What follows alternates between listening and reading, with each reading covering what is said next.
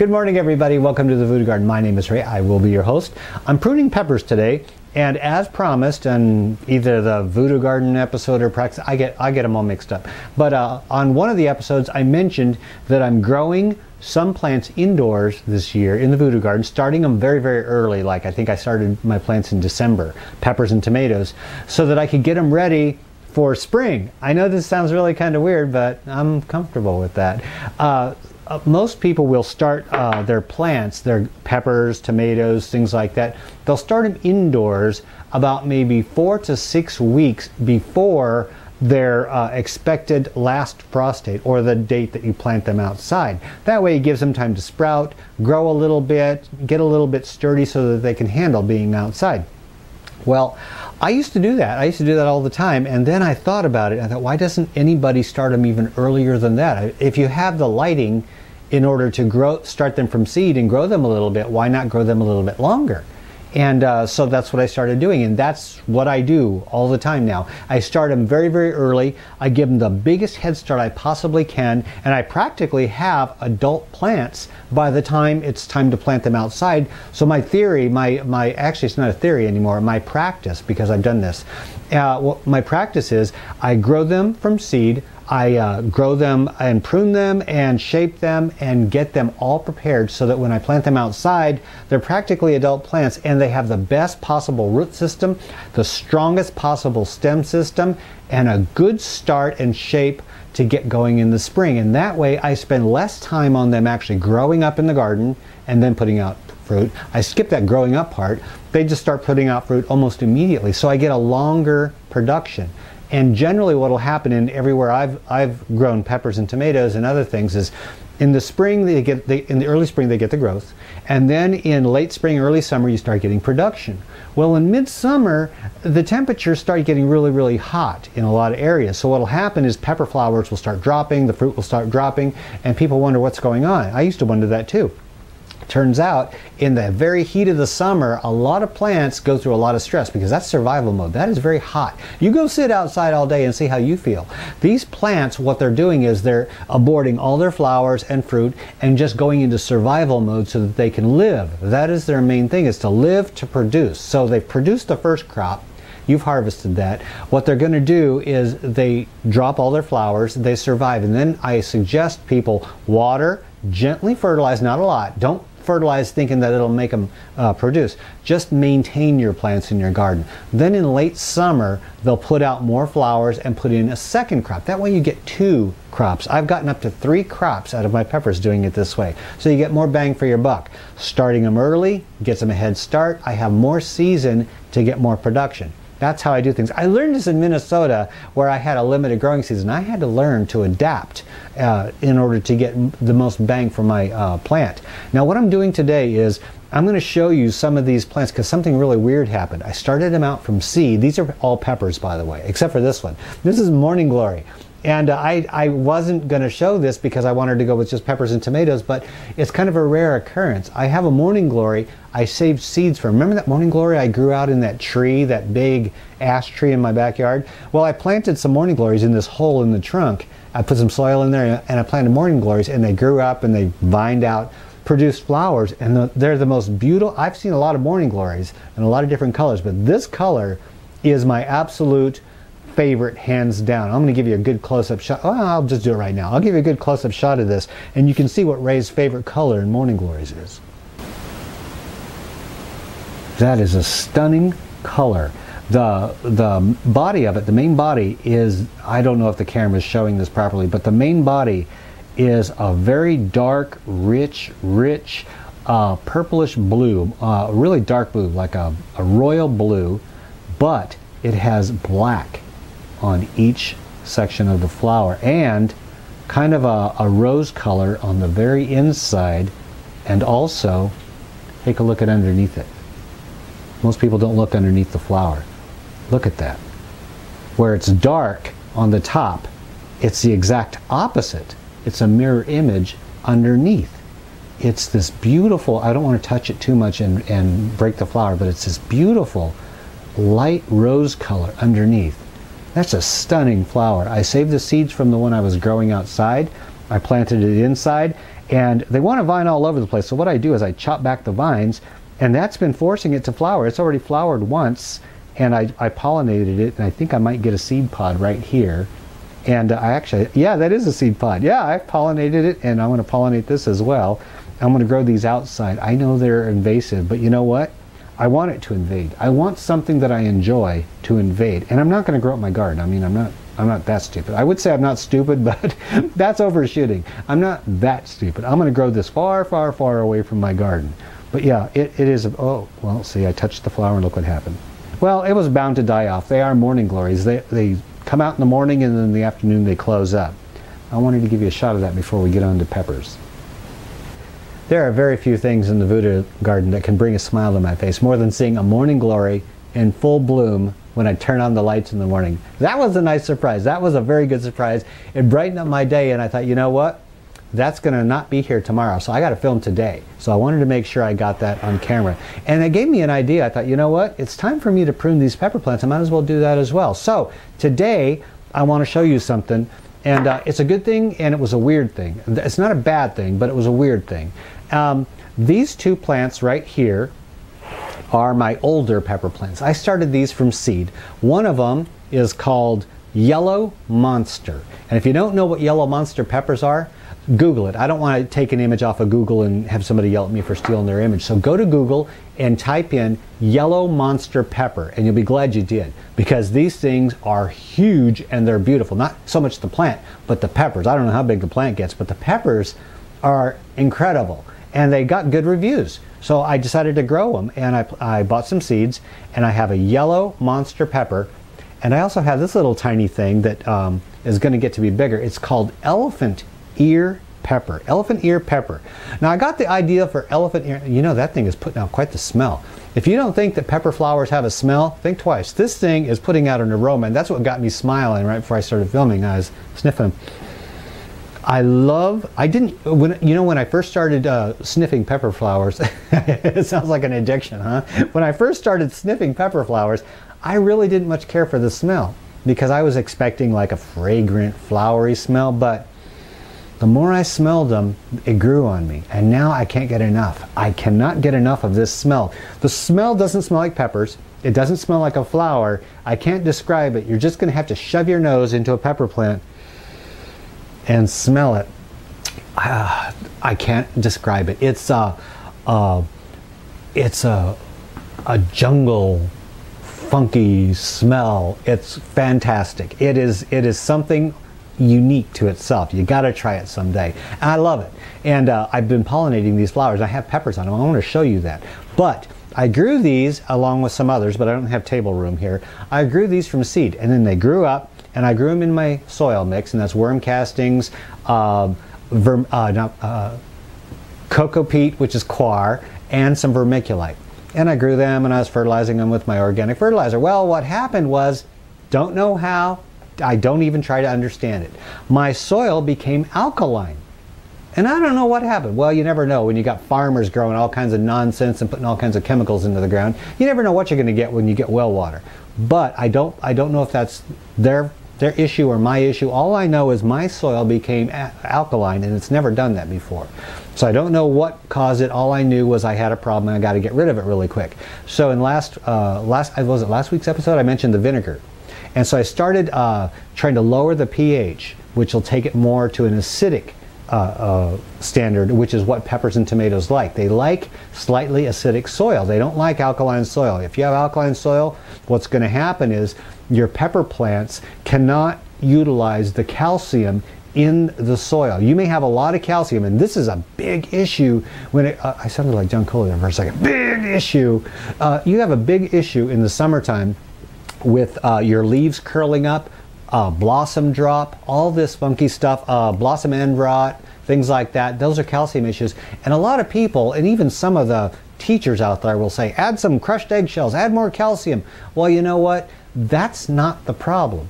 What the problem almost always, hands down, is is that there's always calcium in your soil, only your plants are unable to use that calcium for one reason or another. Now, if your uh, pH goes up too high, and this is a very simple way to think of pH, up high is alkaline, down low is acidic, okay? Acid low, alkaline high.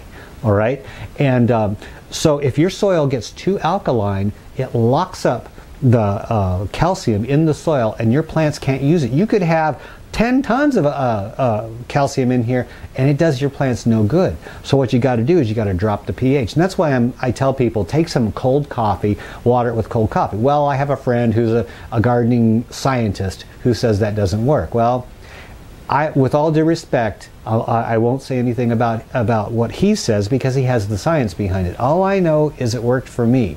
I used cold coffee, which is acidic because uh, coffee grounds are acidic until you brew your coffee. And then the acidity is uh, water soluble. It leaches out of those coffee grounds. So you can use those coffee grounds for compost and don't worry about the acidity. Whereas the coffee is mildly acidic.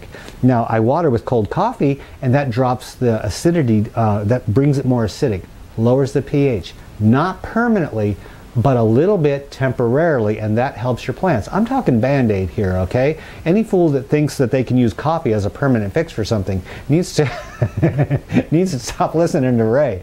No, but um, coffee will help. All right, so cold coffee does help, but a more permanent fix is I put in some vinegar in my water and I started watering with that. Now, eventually, what I'm going to do is start using some peat moss to uh, keep my soil a little bit more acidic. I don't like using peat moss because it's non renewable but I can use a little bit to acidify my soil. I will do what I need to do to keep my plants alive, okay? So if it means buying a small bag of peat moss, you know, it's not going to kill the environment if I buy a little bit of it and I mix it in with my uh, soil mix, I think I'm going to be just fine. But what happened was the leaves got all curled up and stuff. I'm going to show you what a calcium deficiency looks like because this may happen to your plants. Come on over here and take a look at these and I'll show you what the deficiency looks like and what it looks like when you fix it because I got it all going on on one plant.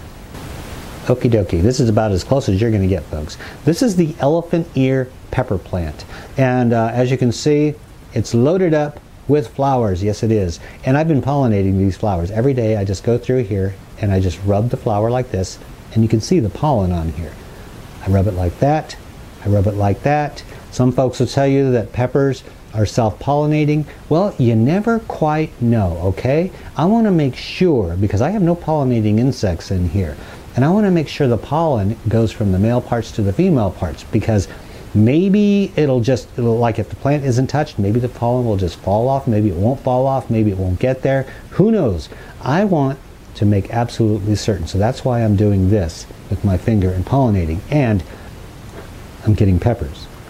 Yep, I am getting peppers. Check it out. They're not huge, but then again, neither is this plant. You can see this plant's only about maybe a foot tall. And it's got a couple peppers, and of course, it's got, actually it has three, and it's going to get some more. This plant has a history. First of all, it went through that nonsense. I'm going to show you what that nonsense is. Right over here, look at this. See this leaf, how it's all curled up and gnarly looking, and this one's a little bit like that. Then we got another one down here. Where, where to go? Oh, yeah, this one right here. See how it's all curled up like that? That's calcium. I mean lack of calcium. If you see that on your pepper plants, that means you're getting low calcium. Now what I did, I, I was going to throw this plant out. To be honest with you, I gave up on this plant. It was in a larger pot. It was in a 10 inch pot, which is what this one's in right now. All right. And I took it out. I just shook the soil out got, got rid of it, shook the soil off the roots, but you know what I noticed? The roots looked beautiful. They were a picture perfect spread of roots. And in fact, you know what? This plant is really, really trying, and it's not its fault, it's my fault. So what I did was I got a smaller pot and I put in some uh, uh, change of soil and uh, I uh, put the plant back in there, repotted it, but I still didn't fix the alkaline issue. So what I did was I started watering it with the vinegar and uh, well vinegar water. And well, uh, you still see uh, once you do that the old leaves are not going to fix themselves. They will always look like that. But newer leaves that are coming out this one this one here it's not putting out a ton of new leaves because it's putting out so many flowers right now but the new leaves are looking good and the color was all faded out on here. It was just god awful looking. It looked really bad but look the color's coming out nice. Yep it's looking beautiful. So that uh, concoction that I had, it works really good. And I'm going to show you one more while I have you here. While I have you here, I got to show off my plants, okay? I got to show them off. Uh, this one is the, what is this one? This is the yellow monster. And uh, yeah, it doesn't have monster sized peppers, but then again, when you're growing indoors, you're not going to get the same results as outdoors. Well, at least I don't, because I don't grow them for show uh, when I grow them indoors. I just grow them to get them started. So what I've been doing is I grew this, and of course, like all my plants, I you know pinched it back. I'm making it grow side branches, keeping it as low to the ground. See, the main stem is only this tall, about maybe an inch long. And a lot of people, you'll see them grow peppers and they have this long middle stem. I don't go for that. I go for the short one and then it starts branching out. That's the same thing that I did with its friend over here. Look at that. That is a nice strong plant. So when I take this outside in the spring, I plant it just maybe an inch deeper. This is going to be a low center of gravity. It's going to be a sturdy plant. When you have hurricane force winds like I do, that's a good thing. And it'll hold the production without snapping over. Now, I'm, what happened over here is at first I thought, well, all is lost. So I, I uh, marked these things off as a loss and I planted new seeds. And the new seeds that I planted, I gave them the vinegar water uh, concoction, and as you can see, no leaves are having that issue. None whatsoever. Exact same soil. Everything's exactly the same only no issues with the leaves. These are lighter colored leaves because they're growing so fast and furious because I pruned it back. You can see that I pruned it back and this is all brand new growth. All the old growth is gone. I chopped it all off. We have all new growth on here. The same with this one. and hold, I'm, I'm working as fast as I can, okay? I don't want anything to fall off the table. Hold on. And then this one here, look at that big, beautiful, dark green leaves. They're coming out nice. They're pruned back. When you prune back your plants, this is what I say, prune it way back and you don't have to be afraid. They will come, look at that, branches here and here. This is going to be a nice healthy plant. Which one is this one? This is called the Yellow Monster, okay? Yellow Monster here. This is the new one. And then here was the old one that I showed you with the smaller leaves. Look at how small these leaves are okay? It's still coming back from the dead, whereas this one has larger leaves because it started out healthier. So uh, when I when I did this, this one was coming back so good, I was tempted to throw the old one out, but the old one started coming back, so now I have duplicates. And that's okay. I, I think I'd rather have too many plants than not enough. So I'm going to let them all live. And uh, these ones I'm going to prune, shape, and when spring comes along, I'll decide whether it's this one or the older one that goes out into the garden. The other ones, I might just keep uh, in the voodoo garden and just grow them indoors, just for the heck of it.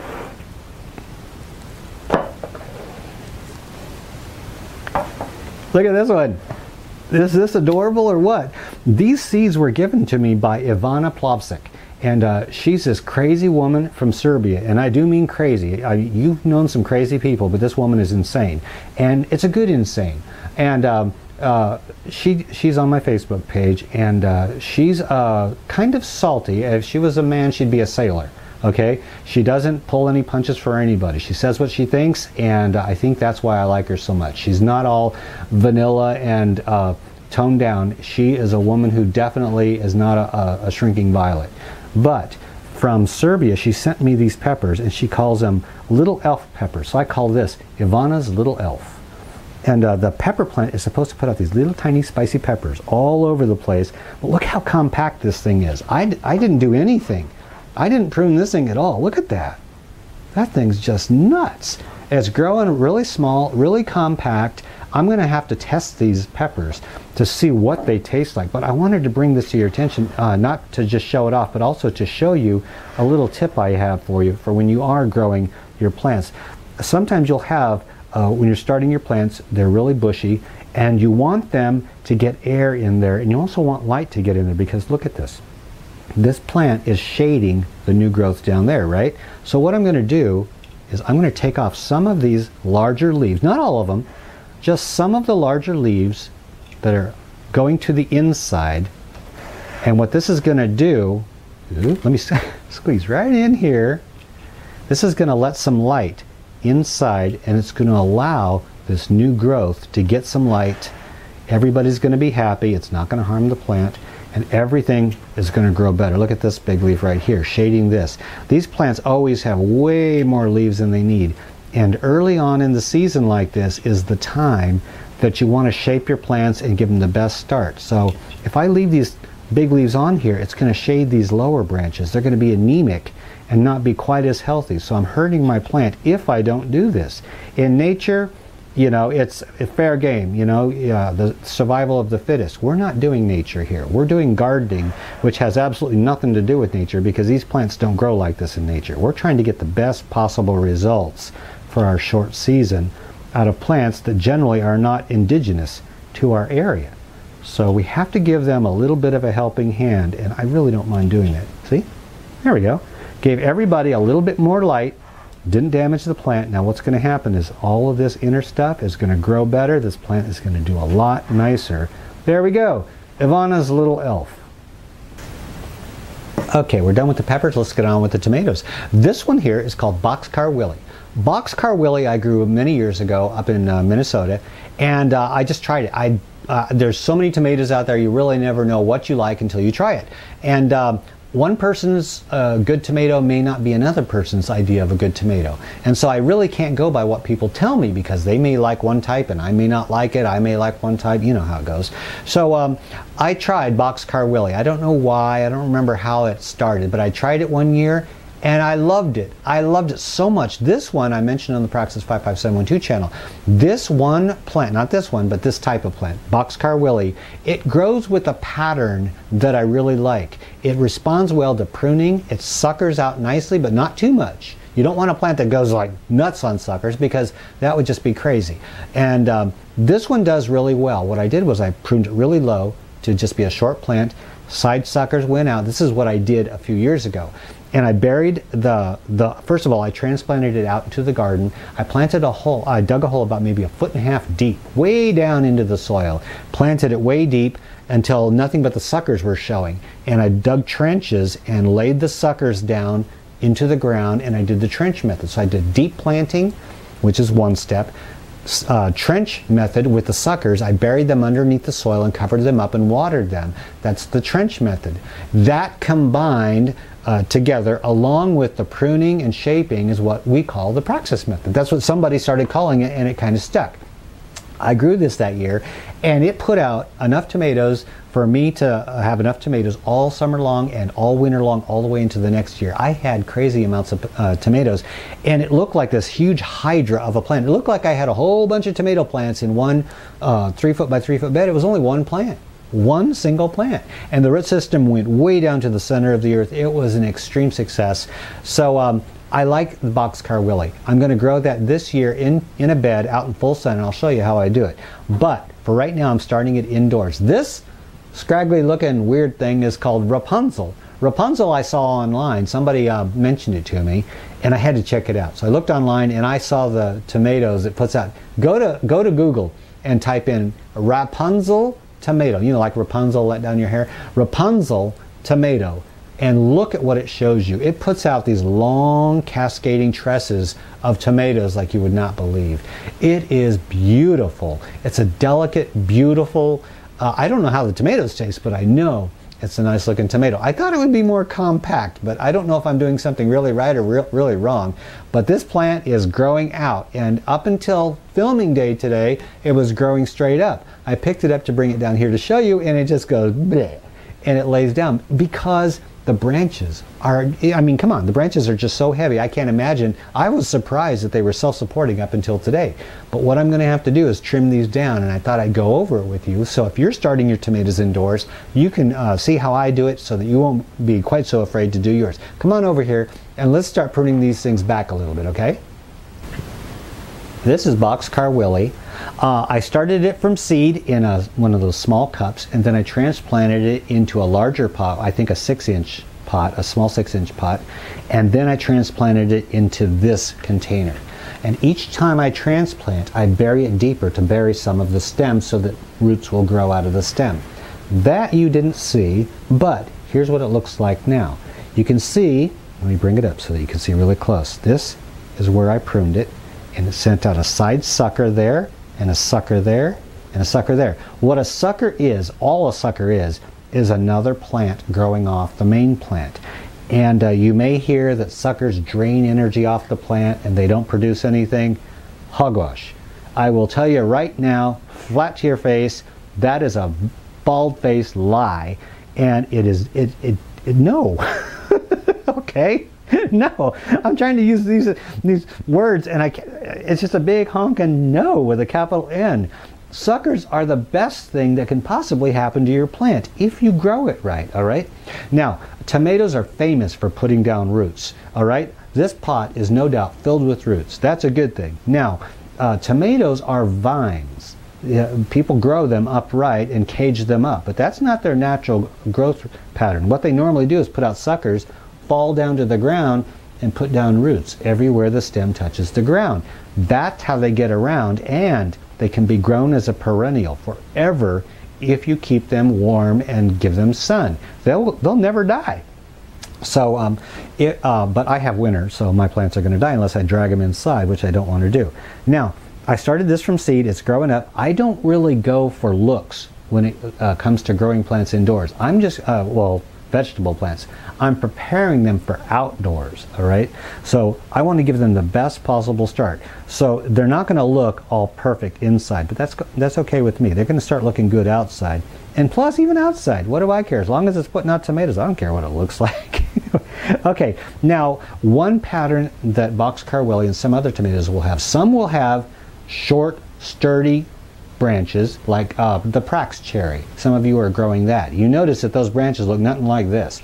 They're strong, they're sturdy, you could hang a swing from those things. That's a good thing. A lot of these, especially Romas, will have this sweeping long branch. Now that's a lot of weight when you're growing indoors because you don't have optimum conditions. So the plant is not going to be as strong inside as it is outside. So one trick that I've done over the years is you take these long branches, cut half of it off. There's more than enough energy in that branch to support that plant. I go around, I do this. What it does is it removes the weight from the top of the plant. Because what's going to happen is if you have all these branches and it's growing up, eventually it's going to fall over. You're going to have to stake it up. No need to do that. You can buy yourself, see I already did one over here. You can buy yourself lots of time and save yourself some time by cutting half your branches off here. Voila there. This plant just lost a lot of weight and it's going to go a lot longer and also it takes these branches off so it doesn't shade the ones below. We want those ones to catch up with the, these ones here. There really is not much else that I need to do here since everything's growing nice. Now if you're growing them inside to get them ready to go outside you're going to want to remove the flower bud. See here's a flower bud right here. This thing wants to put out a flower. Uh, not in my house you don't. Snip I do have time for it to put out a flower, but what happens is when it puts out a flower, it makes a fruit, and then once it starts making a tomato, it's not that it stops growing, but it diverts a lot of energy into producing that. And I want that energy right now to grow into producing, oh, I forgot this one, to producing green growth and thicker stems. I want these stems to be super strong, ready to go outside. I'm going to get a better start. I'll forego the one or two tomatoes I can get now for the balance, which would be stronger, healthier plant when it comes time to put it outside. And there we go. Boxcar Willie got its haircut, no problem at all. Let's go, let's go on over to something that's a little bit more of a challenge, his sister Rapunzel.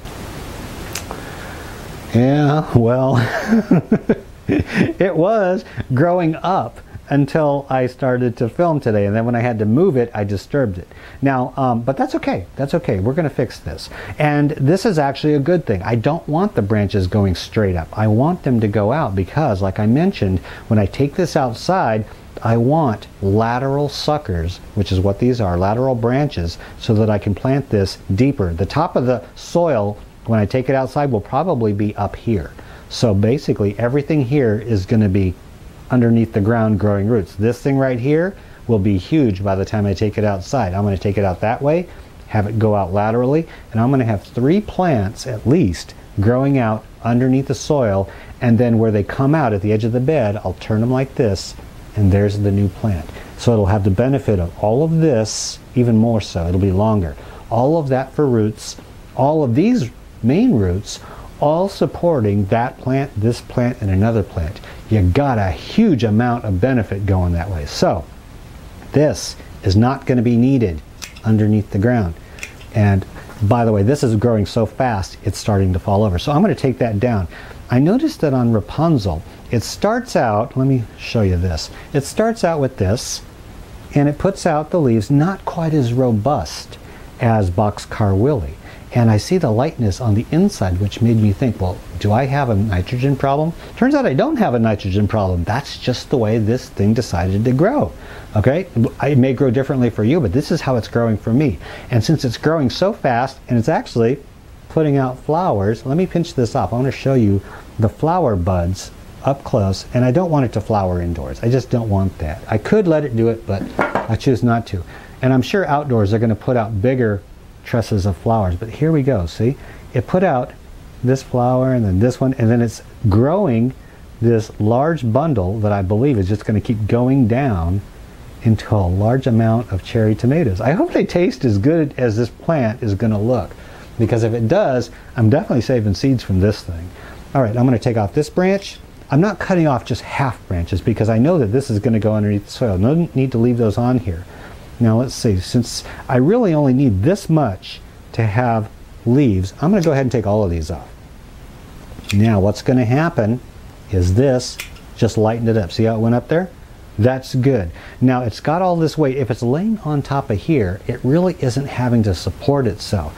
Now that it's actually supporting itself, it's going to grow some more strength here and here. Now look at this one over here. Let me move this over so you can see. This thing just Limp noodle. Nope, can't have that. This is how Ray grows his stuff. This is what I do, folks. Now this one, of course, is not going to stand back up. Look at this. It's just a total mess. But what I'm going to do is remove all of that. And when I put this back underneath the light, trust me, this thing is going to start turning up and going like this, up towards the light. But I'm not going to prop this up. I'm not going to put it on a stick or anything like that because I want it to go out like this. So I'm just going to let it hang like that. And eventually it'll try to grow up and it's going to develop more strength along the stem because this stem, I would like it ideally to be a little bit stronger. So I'm going to let that thing go just like that. Like I said, it's not pretty, but this is production. These are for tomatoes. These aren't for show quality. This is what I, oh, there's a leaf. Yeah, I'll just leave it in there. I have uh, predatory mites in my soil to take care of the fungus gnats. And uh, so every now and then I take the old leaves, I crumble them up, and I put them in the soil. And that gives the predatory mites, they're called Hypoaspis miles. Those mites are so small you can barely even see them with the naked eye. They live off of decomposing matter in the soil when there's no fungus gnats because once they kill all the fungus gnats, what are they going to do? Die? So they can survive off decomposing matter in the soil. So that's why I crumble them around there. Plus, it's nature. When uh, leaves fall down, they turn into more soil, and so uh, you're literally building your soil. If you just crumble up the dead leaves, put them on top, eventually they're going to become part of your soil, and that's a good thing. Putting back into the soil. There we go. Tomatoes are done. Ugly little thing, but good thing she's not going to prom. And there you have it, folks. Ray's tips for butchering your plants, getting them ready for spring. I guarantee you this is going to be a good looking plant this summer and also the boxcar willie and the peppers. They're just going through some of Ray's adjustments right now and they're going to be just fine. But thank you for tuning in. If you have any questions concerning your indoor gardening, post them in the comment section below. I'll answer as many questions as I possibly can. Next episode, I'm going to go through and show you the tropicals. I've shown you the, the vegetable garden stuff and how to do all of that fun stuff, but we also have some more exotics, you know, like our dumb canes here, our purple passions, uh, scheffleras, all kinds of other good things. Tina Turner's hair over here. And uh, I'll show you those and a few of the tips that I have for caring for those on the next episode. Tune in to the Voodoo Garden next week. Until then, this is Ray. We're out of here. Okay, these things kind of squeak. I don't like that squeak. Maybe I should oil these. Okay, everybody, back to your respective places.